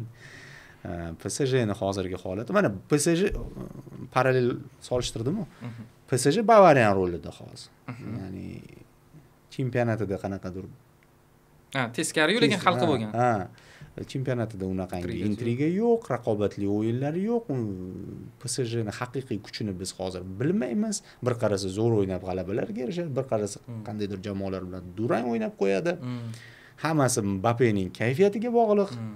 Uh, u ham ba'zida tushadi ba'zida yo'q. Enrike shu tomonlama qiynalsa kerak. Shu tomon agar tarkiblar hozirgi holat solishtiradigan bo'lsa psj qudratli ko'rinishi mumkin. Lekin forma bo'yicha hozir shu bu kecha kunduzi solishtiradigan bo'lsak barselona ham kichik favorit degan bo'lardi. Mm. Ö, eng yaxshi juftlikdan oxiriga olib qo'yamizda endi haligi umuman to'xtab o't- o'tishimiz kerakmikan degan savol boru. zigzag bilan boramizda. Atletico madrid borussiya Dortmund.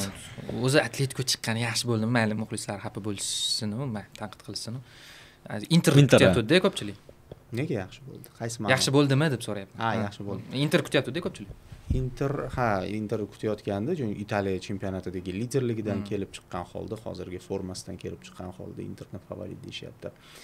Deyishgandi. Atletiko madrid keng boshchi endi atletiko madrid shunday jamoa konkret o'yinlarga boshqacha tayyorgarlik ko'radi. Simeone ham shunday murabbiy deyishimiz mumkin va bu juftlikda man uchun atletiko favorit. Negaki borussiyani biz har xil davrini ko'rganmizda levandovskiy davri bo'lgan yoki bo'lmasa o'sha klop davri deylik. Mm. klop davri bo'lgan. Holland o'ynab ketdi Mm, Tuchel belingem o'ynab ketdi. Zo'r davrlarni boshdan o'tkazdi.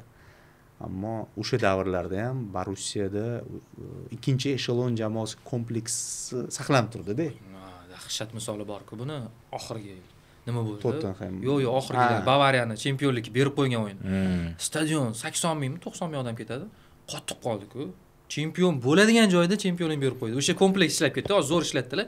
Ikkinchi jamoa kompleksi ishlab ketib o'zini qo'lidagi narsani berib qo'ydi bavariyaga dahshat. Hattoki yutib turib yutqizib qo'ygan o'yinlari bo'ldi mana oxirgi hozir e, borussiya uchun eng zo'r qur'a bo'ldida bundan oson raqib endi oson qaysi ma'nodaki ya'ni o'sha kuchlilar orasidagi osonrog'i. kuchliroq u bular orasidagi osonrog'i shu edi lekin shundan ham o'tishi qiyin. To'g'ri sebastyan alliga bog'liq deyishimiz mumkin. Hozir ham tarkib ancha yaxshi talantli futbolchi sancho o'zini ko'rsatishni boshladi lekin oldingi davrdagi borussiyalar bilan buni hozir solishtirganda ham bu unaqa zo'r ko'rinmayapti shuning uchun man uchun bu juftlikda favorit bor va bu haligi ufcda aytadiku chempionning nomi bor va bu charlz olivera degan ibora bor. Man bu bu juftlikda e, favorit bor va uning nomi atletiko madrid. Ho'p bunaqa qilib aytadigan juftlikka keldik. O'zi e, shundan oldin atletiko haqida ikki og'iz misol atletikoni ko'pchilik himoyaviy o'yin boshqa deydiyu lekin e, sizlarda qanaqa bo'lgani manda shunaqa bo'ladi o'sha yarim finalga yoki chorak finalda atletiko chempionlar ligasiga qanaqadir rang beradigan jamoadek ko'rinadi ayniqsa o'sha inter bilan oxirgi yigirma daqiqalik e, xunuk rang bo'ladiyu Hmm. rang beradi. Ya'ni atletiko haqli o'ynadida inter bilan oxirgi yigirma daqiqalikda. Nimaga xunuk bu o'zgargan atletiko. E, xunuk rang beradigan atletiko bor edi bor edi lekin simeone bir mavsummi ikki mavsum oldin u ham sal ketamanga tushib qoldi. Rahbariyat ham nimadir boshqacha yondashuv talab qildi manimcha undan va atletiko o'zgardi. Hozir u simeonening oldingi haligi e, yirtqichlardan iborat o'zidan kuchli bo'lgan jamoani sindirib bo'lsa ham nima qilib bo'lsa ham to'xtatadigan himoyaviy yopilib oladigan atletiko necha mavsum yashadi lekin bu eskirdi bu uslub.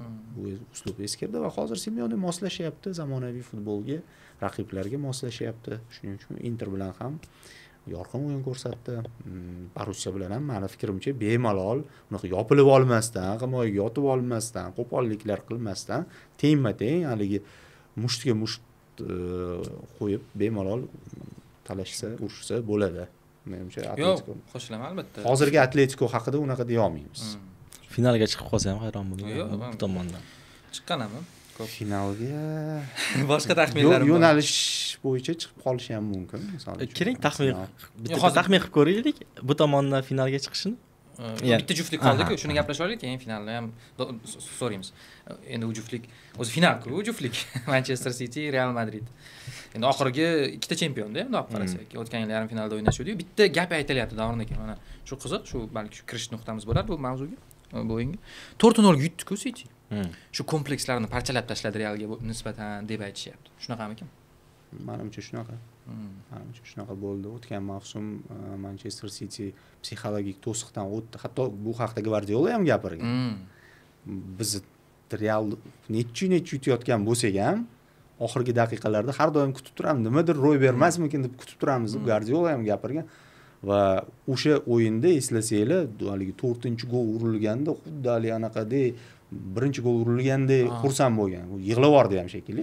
Birinchisida yig'laganda balki to'rtinchisida ham yig'lagan mana birinchisida anaqa de bryune urdiyu bir bir bir- birinchi real urgan keyin de bryune sonini tenglashtirgan madriddagi o'yinda birinchi o'yindan xullas Ha, yig'ladi. Yig'ladi. gvardiola degan odam haligi mashina deymizu g'oyalar ishlab ha siz chiqaradigan gvardiolani aytdingiz a u ikkinchi keyin yig'lagan bo'lish man de bryuneni aytayotganim ha ikkinchi o'yinda to'rt nol de bruyne ham yig'ladi. Ha de bryune ham yig'ladi. Gvardiola ham yig'ladi. Yig'ladi ular xullas xullas e, real to'sig'idan psixologik to'sig'idan o'tishdi. Hmm. o'tgan mavsum va bu mavsum menimcha ishonchliroq kirishsa keraku lekin baribir real o'sha o'sha bo'lib qoladi. Hmm.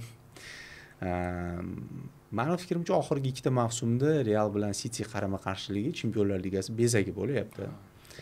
Ehm, shuning uchun to'g'ri ta'rif berib o'tildiki bu final oldidan final. Mm, hamma buni e'tirof etyapti menimcha. Favorit siti qog'ozdagi favorit Qog'ozdagi. qog'ozdagi favorit deb hisoblayman siti lekin mana shu qog'ozdagi favoritlarga qarshi real o'zini eng zo'r o'yinini ko'rsatadi. Har doim shunaqa bo'lgan. Real eng zo'rlarga qarshi eng zo'rini eng zo'r o'yinini ko'rsatadi. Eng oson deb tuyulgan raqiblarga qarshi endi bu ko'proq la ligaga tegishli. Ochko yo'qotadi durang o'ynab qo'yadi. Shuning uchun qog'ozdagi favorit bor va real madrid bor real madrid bor Ha, charles charles oliveradami yangi iltimos bo'ldi. Ha, mana endi farq so- so'rasak bo'ladi ya'ni u tomondan Hmm. man endi o'zim boshlab beray mani taxminim atletiko ya'ni o'sha man o'zi atletikani bekor tanqid qo'yaman ho'p keyinchi? Bu tomondan sizda qanaqa?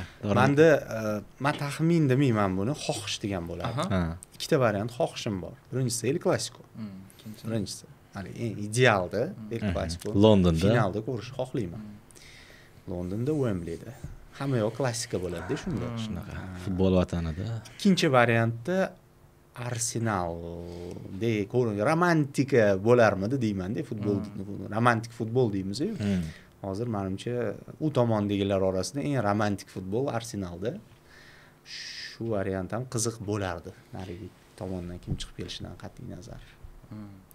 Endi manda ham e, birinchisi klassiko klassiko bo'lsa qiziq bo'lardi. Manda ham ikkinchisi bor lekin man shuni aytasiz deb o'yladim aytmagani uchun yana man- manda xohish bor. Shunaqa ikkinchisiga bu holland mbappe Ha.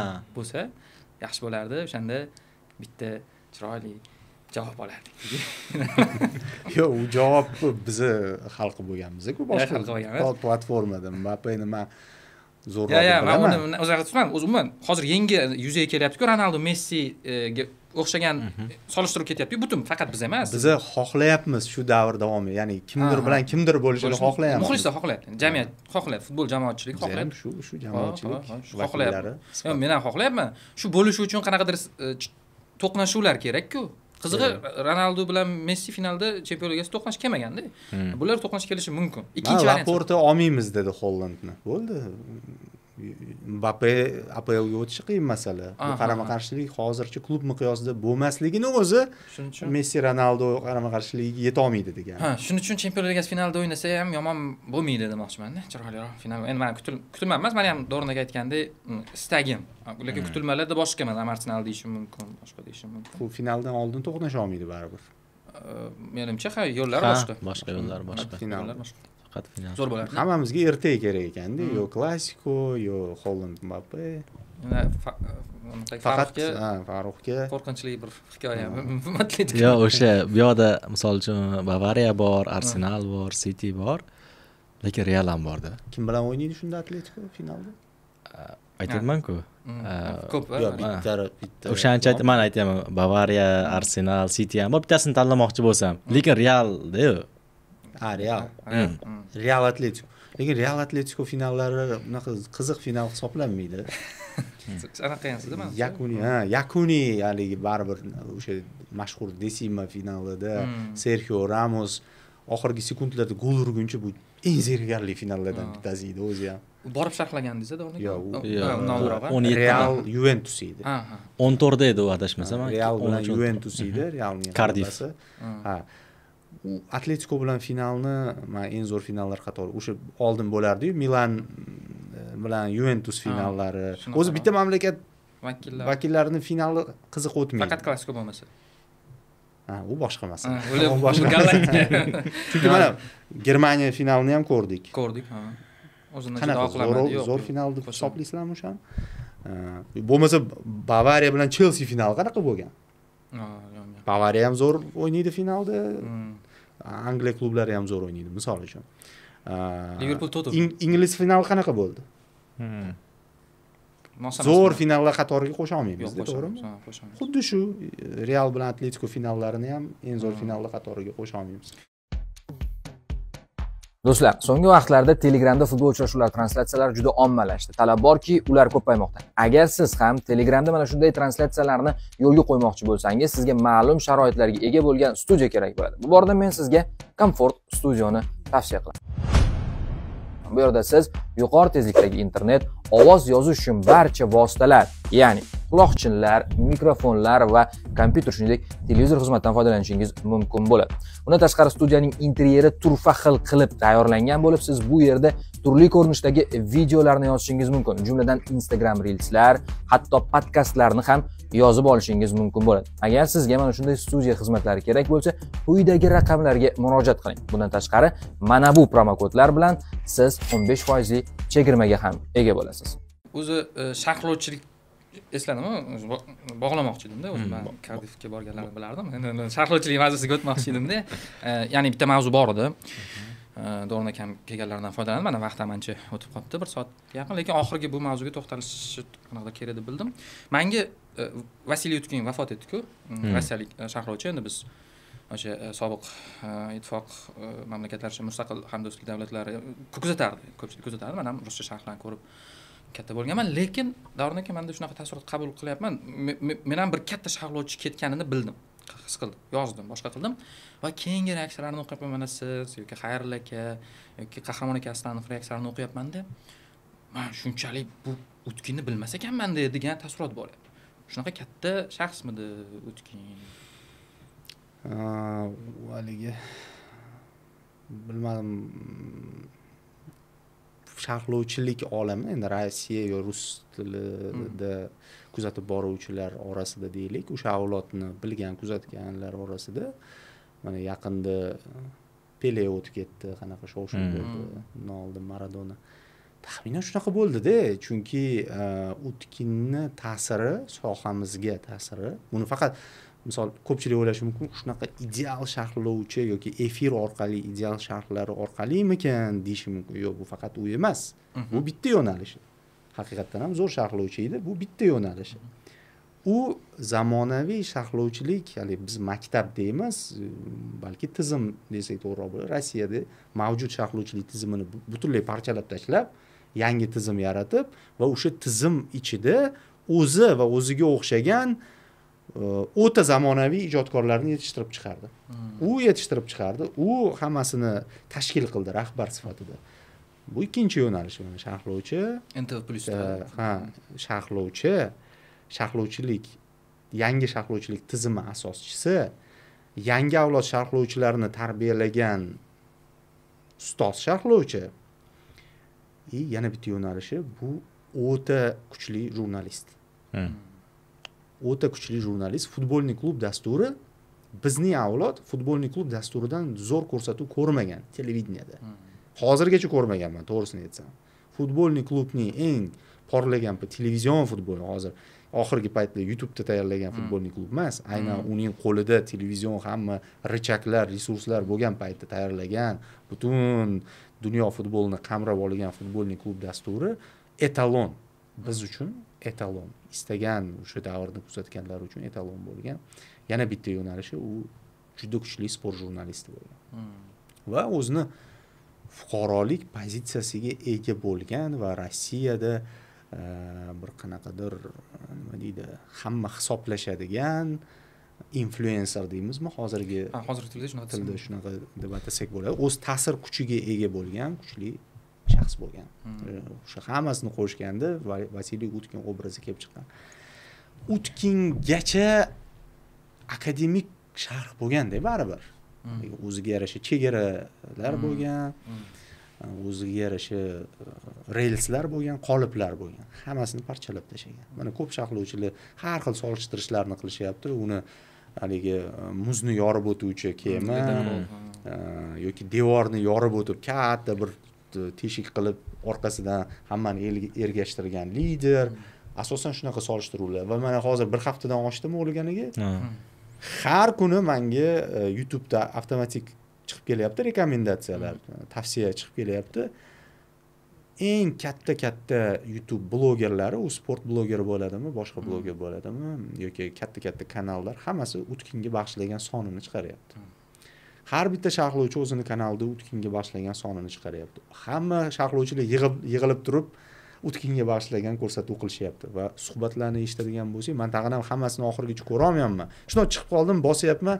besh o'n daqiqa ko'raman qaysidir ishim chiqib qolguncha. Uh, shuni o'zida qancha informatsiya olyapmanda eng yoqqani komment shou degan dastur bor. Rus sharhlovchilar o'tirib olib gaplashishadigan yig'ilishdida endi. Hammasi emas bir to'rttasi yig'ildi. Utkinga bag'ishlagan son qilishdida. Endi hayotdagi utkin haqida shunaqa narsalar aytib berishyapti. Man o'ylab qolyapman bu sharhlovchi utkin hech narsa emas ekanu deyapman. Hmm. bularni hammasini haligi oilaviy muammolaridan tortib shaxsiy muammolaridan tortib ishi bilan bog'liq muammolarigacha hammasi birinchi bo'lib murojaat qilgan odam utkin ekanda yana hammasi bilan urushgan qanaqadir konfliktlar bo'lgan ish bo'yicha nimadirlar bo'lgan lekin hayotda eng qiyin vaziyatlarda birinchi murojaat qilgan odami utkin bo'lgan ekan? Hammasiga yordam bergan hamma haligi oilasida qiyinchilik bo'lsa utkinga borgan? U maslahat bergan.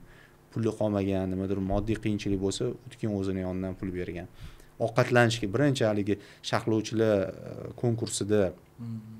Yutib chiqqan finalchilar qanaqadir moskvada yashashga sharoiti bo'lmasa o'tkin sharoit qilib bergan pul bergan ovqatlantirgan uyiga taklif qilgan doimiy ravishda o'zini haligi dachasida dala hovlisida e, hamma sharhlovchilarni yig'gan hammasi bilan o'yin kulgi qilib atmosfera yuzaga keltirganda shunaqa muhit yuzaga keltirgan do'stona ular bir biri bilan rosa urishishardi lekin hammasi baribir bitta jamoa edida.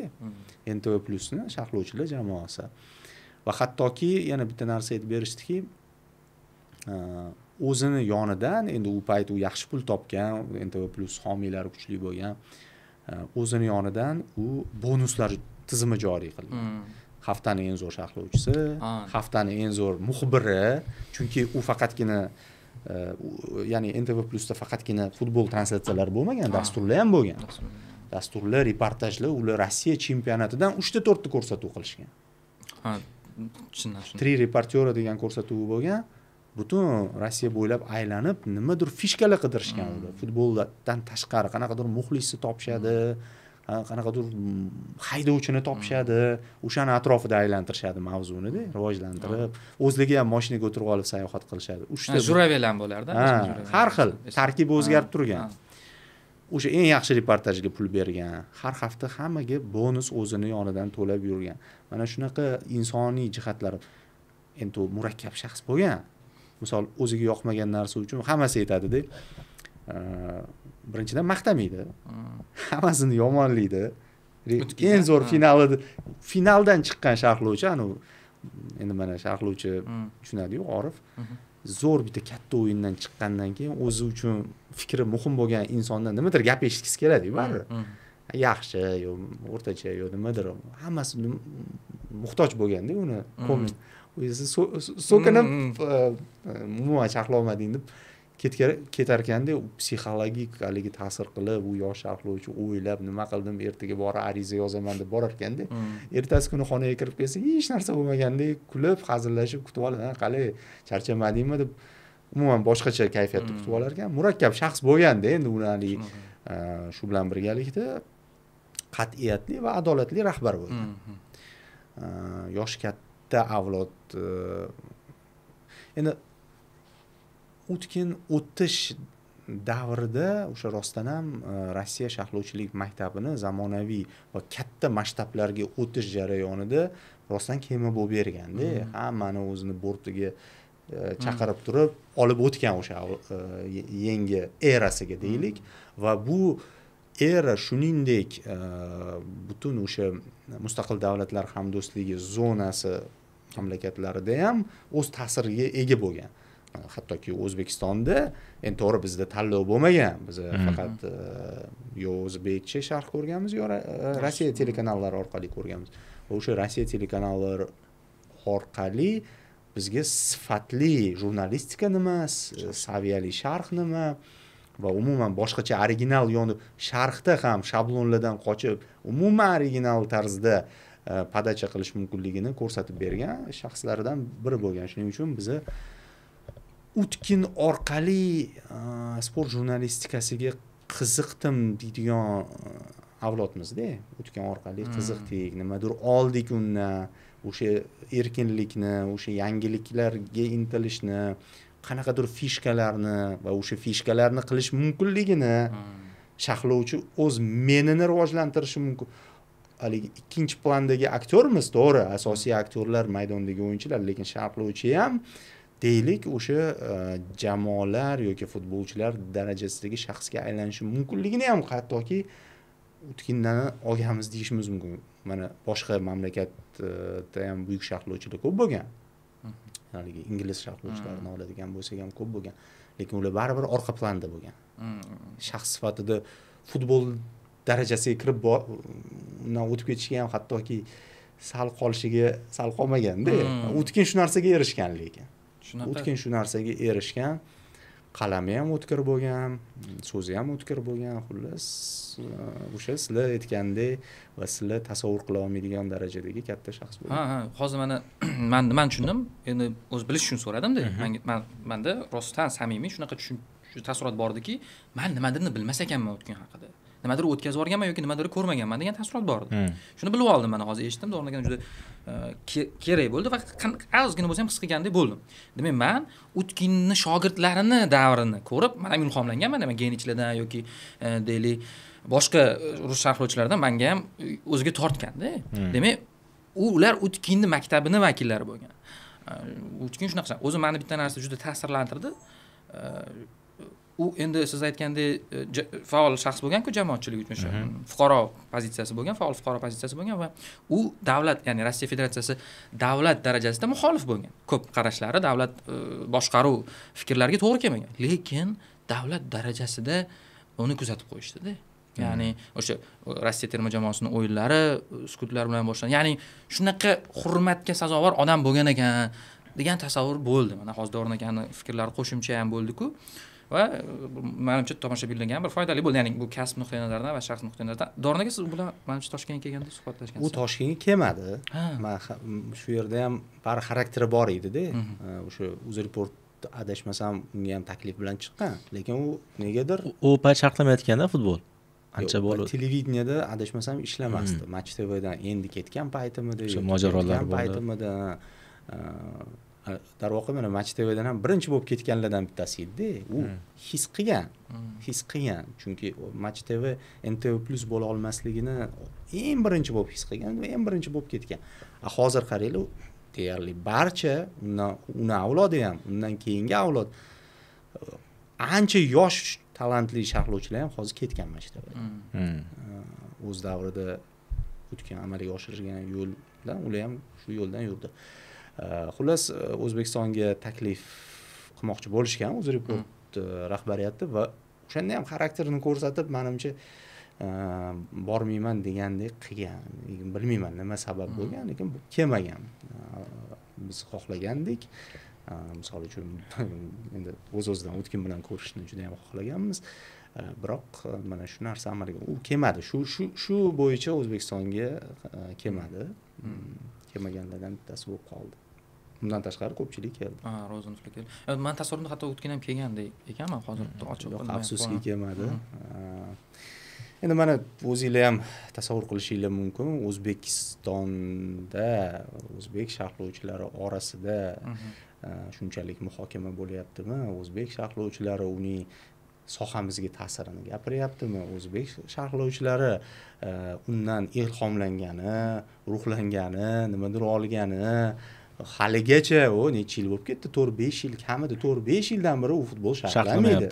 Lekin haligacha eng zo'r sharhlovchilardan biri ekanligini e'tirof etilishi haligacha uni qayerdan bo'lsa ham topib kuzatib borishimiz dan ham xulosa qilishimiz mumkinki haqiqatdan ham vasiliy utkin ta'riflangancha bor va ba'zida ko'rasiz siz tomonidan unutilgan taniqli shaxslar o'tib qoladi lekin bir paytlar siz kuzatgansiz qaysidir filmini ko'rgansiz yoki qaysidir qo'shig'ini eshitgansiz o'sha paytda bitta eslab qo'yasizda afsus chekasiz o'sha odamni ko'p eslaysiz va bu taxminan bir ikki kun davom etadi. Undan keyin unutasiz yana vasiliy utkin unutilishi kerak bo'lganda bir o'sha olti yetti yil oldin unutilib bo'lishi kerak edi. Bo'ldi u chiqib ketdi televideniya sohasidan sharh soh o'zini eng zo'r deb tan olinadigan sohalardan hammasidan chiqib ketdi. Unda nima qoldi? Faqat youtube qoldi futbol jamoasi qoldi. Lekin vasiliy utkinni biz bizni avlod bizdan katta avlod hamma bilganlar o'sha resurslar orqali bo'lsa ham o'sha darajada qabul qilib kuzatishda davom etdik shu kungacha va hozir mana bir hafta o'n kun bo'ldi o'lganiga lekin man bugun ham u haqdagi qaysidir e, dasturni ko'rdim. Va yana manga yetmayapti. Chunki hamma har xil fikr bildiryapti uni safdoshlari jamoasi do'stlari jamoa tuzdiyu futbol jamoasi tuzdi. Agressiya. endi u futbol jamoasidagilarni gapini eshitib haqiqatdan ham ta'sirlandimda ular uchun bilmadim haligi hayotni ularni hayotini o'zgartirib yuborgan inson deb aytishyaptida uni. Uh, va pulga ham unaqa o'ch bo'lmagan. Endi bunaqa mutaxassislarni moddiy tomon to'g'ri haligi qiynalgan joylari ham bo'lishi mumkin lekin utkin darajasidagi insonga baribir yaxshi takliflar bo'ladi o'zini moddiy tomondan ta'minlab yurgan. Shu bilan birgalikda pulga o'ch bo'lmaganda pulli deb match tvda qolishi mumkin edi qolmagan. Pulli deb u boshqa kanallardan takliflar bo'lishi mumkin edi lekin bormagan prinsiplariga rioya qilgan oxirigacha o'zini darajasidan pastroq deb hisoblagan ishga qo'l urmagan hech qachon o'zini dunyoqarashiga zid bo'lgan ishlarga qo'l urmagan hech qachon. Lekin o'ziga yarasha armonlari ham bo'lgan ekan do'stlari ham aytib berishyapti o'sha qaysidir rossiyada o'tgan jahon chempionatida birinchi kanal chaqirganda keyin bitta ikkita o'yin sharhlagandan keyin ha u yerda man adashmasam yanglishayotgan taqiq tushgan. Navalniyni. Yo'q. Emas u bilan bog'liq emas. U navalniyni slutskiy gapirgan. Slutskiy gapirgan. U olib chiqmaganmidi shuni? Sluskiyni u olib chiqmaganmidi o'tkini olib chiq- o'tkin olib chiqqan bo'lishi mumkin lekin u Hmm, ha shunaqaroq tema bor. O'tkin bo'lgani uchun hmm, qo'yilgan. hmm. ha qiziq. Endi o'zi bizni e, z avlod deymiz mana ikki minginchi yildan buyog'ini e, biz futbolni ko'radigan va tushunib ko'radigan davrgacha sekin sekin bizda tanlov imkoniyati paydo ham bo'ldida mana misol uchun davron aka akalar chiqib keldi. Ya'ni biza endi mayli ming e, zo'r daho bo'lsa ham baribir o'zbekcha kontentni odam tinglagisi keladi. Bu til bilan bog'liq. Chunki o'tgan safar undan oldingi podkastimizni kommentlarida ham ko'rishimiz mumkin. Ya'ni e, ruscha e, suhbat bo'lganda. Endi shu insonlar uchun aytib ketaman o'tkin kim playstation o'ynagan bo'lsangiz вот вам пожалуйста именно o'sha ovoz. Man uchun bu ta'rif lekin u o'sha o'sha ta'rif o'sha lekin o'sha inson eshitdim. o'sha inson o'tkin ya'ni bizni shu bilan eslab qolganmiz ayni maktabdagi oltinchi yettinchi sinfdagi eng yaxshi xotiralar shu ovozda bor. Xolos z avlodga ham ta'sir o'tkazgan ekan ya- yaqinda yana bitta intervyusini ko- ko'rdim haligi. O'zini intervyusi o'lishidan oldingi so'nggi intervyulardan biri ayol kishi olyaptida endi futbol umuman tushunmaydi bilmaydi u aytyaptiki man uchun o'tkin haligi e, navigator ovozi deydi. Navigatorda ham bozda borda uni ovozi qizig'i manda ham turadi uni ovozi. O'sha navigatorda hamchi original gaplarni gapirganda nima degan bitta gapi bor давайте как гвардиола сменим маршрут. Ну ba'zi shunaqa anavi qiziq qiziq gaplar futbolga bog'lab gapirganda o'shaning uchun man navigatorimda ham o'tkin turadi mana bunda tamam o'rnatish kerak va o'zi eng zo'r nimani qahramon akani yozganlaridan man o'zimcha xulosa qildimda ya'ni shu qahramon aka o'zi zo'r yoz yomon yozgan narsalari yo'qu shunchasini o'qidim ya'ni hamma yozyapti o'tkin haqida lekin birortasi man o'ylagandek chiqmadi degan ya'ni o'tkin bo'lganda yorardi man shundan his qildimda qahramon akani ancha yildan beri o'qib yurgan inson sifatida mana shu yozuvda qanaqa insonligini his qildim. Birinchi u har doim xayrilla aka nima mavzu bo'lsa birinchi video qo'yadigan odamlar ularda ko'rdik xayrilla akani fikrlarini. Va mana bugun davron aka ham salkam yigirma minutga yaqin gapirdilar bu mavzuda. Hali agar biz davom ettirsak bu tugamaydida ya'ni shunaqa odam bo'lgan ekan. Aha shunaqa e, katta ekanda figurasi kutilgandan katta ekan. Masalan man uchun kutilgandan katta ekan man buni endi o'sha vafotidan keyin bildim. Oldin ham kuzatardim oldin ham zo'r sharhlovchi bo'lganini bilardim. O'sha siyosiy faolligini bilardim boshqayu lekin e, vafotdan keyin mana ko'pchilikni aytganlarini o'qib yoki eshitib bildim. Yana ham o'sha kattaroq shaxs bo'lganini. Davron aka o'zi mana o'sha prinsiplari bo'lgan o'sha prinsipni orqasidan telekanal bilan mojaroga kelgan prinsipni orqasidan o'sha e, takliflarga yo'q dedi. O'zi sharhlovchiga mana professional sharhlovchiga mana shu prinsiplar e, qanaqa xalaqit berishi yoki o'zini nimasidan borish kerakmi? Siz qanaqa fikrdasiz shu haqida manimcha sizda ham bo'ladi misol uchun ayrim sizga yoqmaydigan holatlar yoki sizni qaysidir prinsipingizga to'g'ri kelmaydigan holatlar. Lekin e, bilishimcha yon berishga harakat qilasiz. Qanaqa kechadi mana shu jarayon? Endi bizada ham bo'lib turadi shunaqa narsalar. Ba'zi prinsiplarimizga mos kelmaydigan holatlar. Endi bor ma'lum bir prinsiplar ulardan voz kecha olmayman. Man ham e, shuning uchundir balki e, o'zimga ko'proq kengroq imkoniyatlar bo'lgan joyda e, faqat tor profilli yo'nalishimda qolgandirman. Asosan shu hozir hayolimga kelgan narsalardan bittasi. O'zimni o'zimni mana shu tanlab olgan yo'nalishimdan nima bo'lgan taqdirda ham chetlashmaganman. Hmm. O'sha o'sha tomonlama prinsiplarni ishga solishga to'g'ri kelgan. Endi ish bo'yicha ham bo'ladi nimanidir misol uchun man qabul qilolmasligim mumkin. O'sha qabul qilolmaydigan narsamni oxirigacha qabul qilmayman. Sohamda ishimda kasbimda va ko'p narsadan voz kechgan holatlarim ham ko'p bo'lgan. Moddiy moddiy tomonidan ham yoki mashhurlik tomonidan ham obro' e'tibor jihatdan ham manga to'g'ri kelmaydimi? U tomon plyus tomonlarni hammasini voz kechib yubora olmayman prinsiplarimni ishga sola olmayman demoqchiman. Endi bizda nima deydi nima desa bo'ladi? Unaqangi keng masshtabda hali media rivojlanmagan. Endi mana rivojlanish bosqichidamiz. Va hozircha biz qayerda futbol bo'lsa o'sha yerdamiz. Hmm. futbol bilan birgamiz. Va hozircha xudoga shukur deyman deylik o'sha match tvda sodir bo'lgan voqea ya'ni futbolga umuman aloqasi bo'lmagan odamlar a, deylik utkindek shaxslarni o'zini ishlash uslubiga va bu sportdan umuman yiroq bo'lgan haligi fashion uslubiga moslashtirmoqchi bo'lishi gap tina kandelaki haqida uni jamoasi Hmm, deylik jamoasi. uni jamoa chunki u bir o'zi emasda Ha. jamoa bo'lib ke- kelgan ular va haligi sts shunga o'xshagan ko'ngilochar tasavvur qilinglar ntv plyus futbol ya'ni futbolni o'zgartirgan e, kanallar o'rniga e, fashion yorqin rangli sts sifat kanal paydo bo'lyaptida. Tabiiyki utkin buni qabul qilmagan man aytmoqchi bo'layotganimki bizda hali unaqa tanlov bo'lmadida. Hmm. bizda futbol yoritmoqchi bo'lgan e, deylik kanallarni hammasi futbol tomoniga jiddiy e'tibor qaratgan. Deylik misol uchun mana yangi e, kanal kirib kelganda ham futbol tv faqatgina futbolga o'zi bor resurslarini yo'naltirgan. Yoki mana misol uchun hozir sport tv sport tv faollashgan yoki sport tv endi ochilgan davrini ham oladigan bo'lsak o'sha davrda ham asosiy urg'u aynan futbolni professional darajada yoritish sportni professional darajada yoritish degan narsa qo'yilgan. Boshqa narsalarga chalg'ish yoki deylik qaysidir sharhlovchi shoumen sifatida chiqib kelishi shunga o'xshagan narsalarga e, ko'ndirish majbur qilish kabi qiyinchiliklar bo'lmadida bizda hali. Xudo xohlasa bo'lmaydi ham degan umiddaman. E, shu. E, nima yetishmayapti? Hozir nimalar qilsa bo'ladi mana? Mm, siz baribir davron fayziyev orif aka siz ham man ham hammamiz birinchi o'sha jurnalist sharhlovchi sifatida taniganmizda Endi hozir ham ko'pchilik shunaqa endi ufa xodimligi bu boshqa masala. Siz mana shu o'zingizni ijodiy tomondan mana qaraysizu. Endi qo'lingizdan keladigan narsani qilarsiz balkim lekin shu narsa bo'lsa mana shu bizani o'zbekcha kontentlar yoki mediada mana shu narsa bo'lsa degan xayolda o'tadimi? Doim o'tadi. Mm, bizga raqobat ko'proq kerak.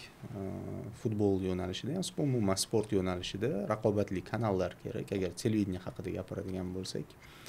E, va katta homiylar kerak. Hmm. katta homiysiz o'sha rossiyada ham televideniye rivojlanmasdi.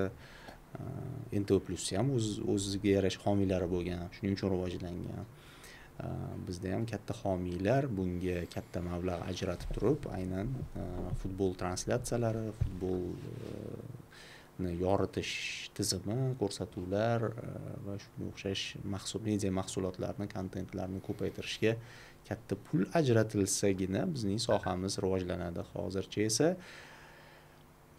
hozircha sekinroq tempda lekin baribir rivojlanish yo'lidamiz. Oldingiga nisbatan ancha yaxshi sharoit ham ijodkorlarga bo'lgan sharoit ham efirga uzatilayotgan e, jonli translyatsiyalar ham e, va deylik televideniyadan tashqarida paydo bo'layotgan e, media mahsulotlar blogerlar bloglar kanallar ham normal rivojlanish jarayonini boshdan kechiradi lekin zo'r rivojlanib ketmayapti. Hmm. o'rtacha o'rtacha tempda o'rtachadan sal sekinroq. Demak davron aka rahmat. Kattakon e, vaqt ajratganingiz uchun.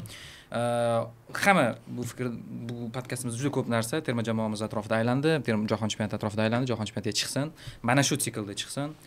Va davron aka aytgandek e, biz ko'raylik jahon chempionati terma kuchli oltitalik bilan. O'sha kuchli oltitalik deyilgani ham sabab bo'lsa kerak manimcha. Chunki keyingi nima bo'lsa o'sha qirq sakkiztalik bo'lganda chiqildi degan fikr ham bo'lishi mumkinda. Hmm. balki. Ya'ni hozirgi avlod mana shu kuchli oltitalikda chiqib haqiqatdan ham eng yaxshi avlodligini qaysidir ma'noda isbotlashi mumkin? Mhm. shunaqa. Davron aka katta rahmat. Rahmat taklif uchun demak do'stlar e, a'zo bo'ling markaziy sektor e, kanaliga youtubeda obuna bo'ling bizni kuzatib boring va e, suhbatlarni o'tkazib yubormang. Hozircha esa xayr salomat bo'ling